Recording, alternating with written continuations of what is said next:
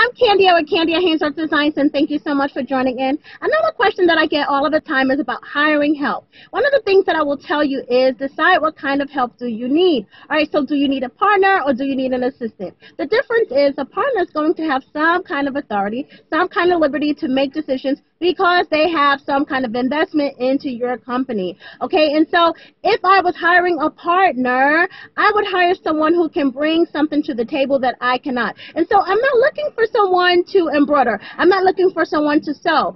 If you look into uh, my business, you would see that I need help with marketing, promoting. Um, I need help with uh, uh, YouTube, Facebook, that kind of thing, social media. And so someone who, uh, graphic art even, someone who would be uh, not necessarily an expert, but have the knowledge that I don't have in this field would be helpful, a tremendous help to me. Not someone who can build baby ensembles. I don't need help doing that. Okay, and so if I was hiring an assistant, that person would be the person that is going to keep my studio orderly. That person is going to be sewing the tags on blankets and stuff, things that are going out. That person is going to be packaging items, printing out labels, invoices, that kind of thing. And so you want to really decide what kind of help do you need before you hire someone so you can put the person in the right position that they need to be and you are not wasting your time and their time. Okay, and so that's all I have for you today. If you like this tip, give it a thumbs up. Subscribe to my channel and don't forget to hit that bell so you can be notified when I upload videos.